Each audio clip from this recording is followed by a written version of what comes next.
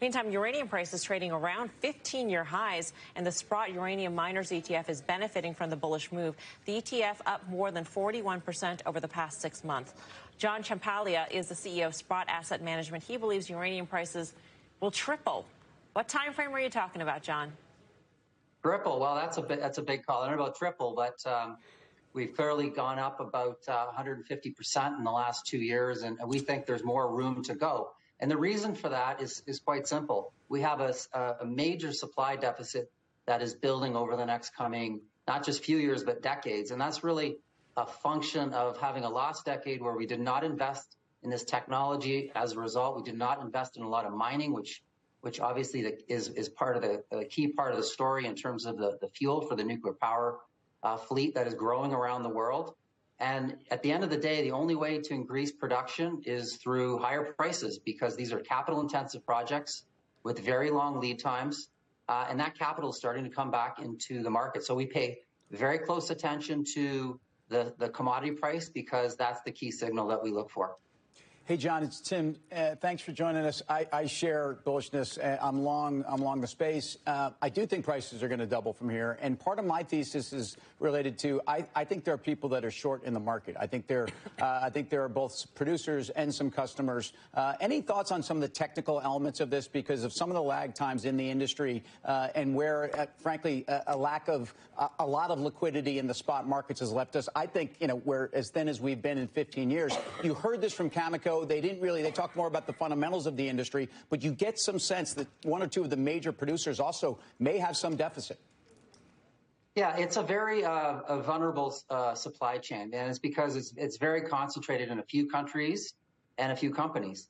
Um, and the market right now is very tight. It's very tight in the spot market, but more importantly, the term market is what we, we look at very closely because that's where utilities are buying uranium under long-term contractual arrangements. If you look at last year, for example, uh, utilities around the globe purchased through long-term contracts about 125 million pounds.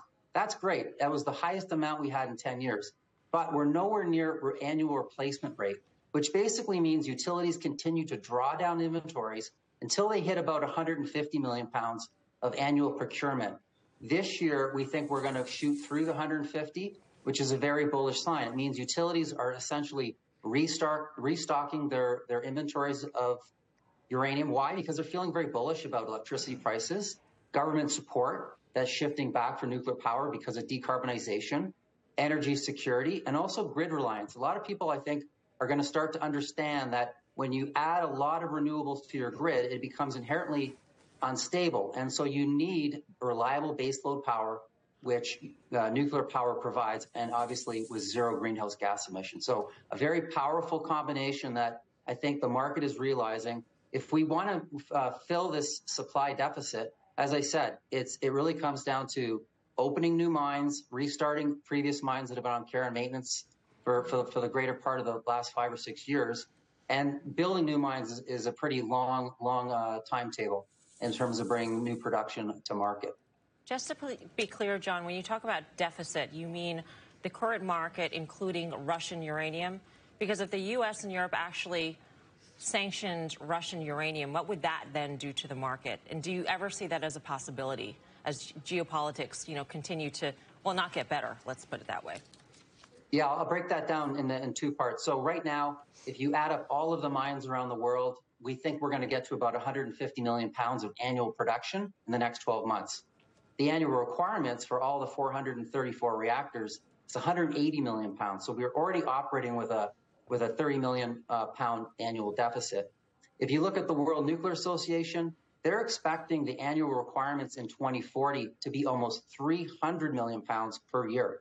So we're talking about a serious increase in production that, that will have to be filled if we want to build all the nuclear capacity that the world endeavors to. With Russia specifically, they're not a big producer of uranium, but they're a key player in the fuel cycle, the nuclear fuel cycle, around the conversion of, an, of um, U3O8 to UF6, uh, which is basically a gasification process, and then the enrichment of uranium, where they control about 40% of the global capacity. This obviously has Western utilities and governments concerned, and right now there is a very strong effort to reshore some of these steps in the fuel cycle back to friendly countries. So you have uh, you have facilities in the United States and, and France that right now are in the process of growing their capacity so that we're less reliant on Russia. There are absolutely no sanctions whatsoever on Russia on anything to do with uranium or nuclear fuel. And it's a simple reason that we do not have the capacity in the West to cut them off. It's a matter of time before sanctions come into place. The current bills floating around the House are envisioning 2028. But between now and then, we're still going to be relying uh, in some part on Russia for, for the fuel cycle. John, thank you. Nice speaking with you. John Ciampaglia of Sprott.